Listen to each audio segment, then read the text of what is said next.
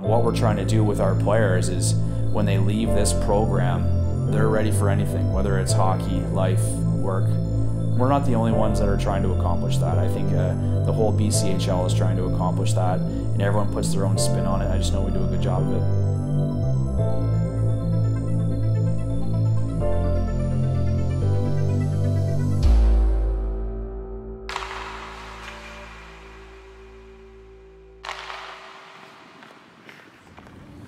Players that are coming to Centennials, you know, the first thing that we look for, uh, you know, good people. We try not to have a lot of uh, new faces come in and go throughout a year. Um, we want to make sure we're, we're picking the right guys, the right families um, that are going to fit our, our culture here and what we're trying to do.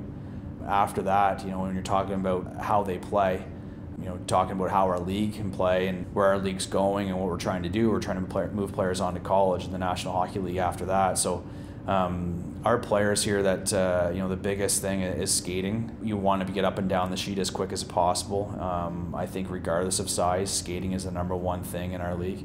Um, outside of skating, you know, skill is a big thing. Uh, I think skill uh, can be defined in many ways. Um, we like what we call hard skill. Um, everything we do, we, we believe is, is pretty difficult and pretty difficult in how we play. Uh, we're very fast in how we play, so um, skating, skill, and you know brains. Again, brains can be measured in many different ways, but uh, um, all aspects, I believe, uh, uh you know, those three tangible things are very important to what we do and very important to how we play. It. The the biggest one of all is to compete and and how hard you work and that doesn't just go on the rink. It goes back to uh, training at planet fitness and it goes into our everyday thing.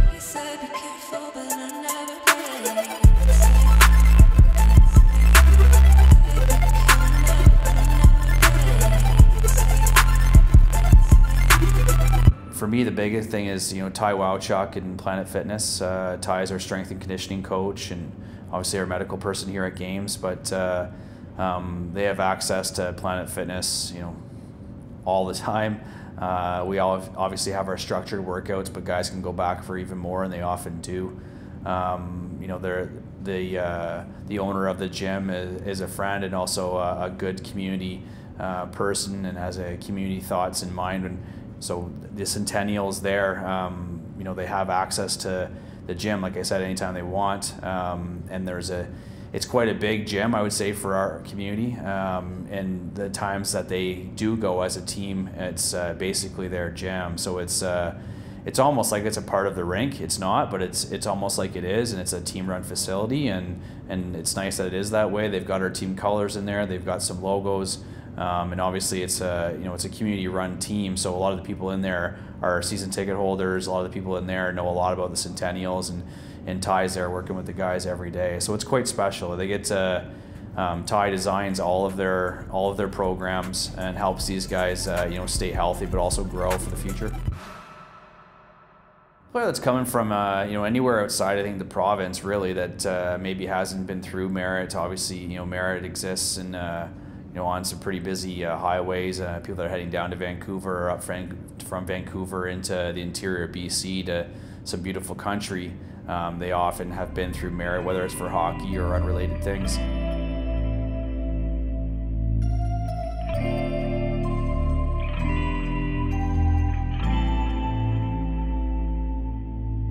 It's a unique place to call home, a nice place to call home. I think the, the feedback always from, from players, um, or from parents or fans that are coming here is um, they can't believe uh, just the views. They can't believe the, the drive that we get to do all the time. Uh, can't believe the lakes, the mountains, um, and how much space there is here.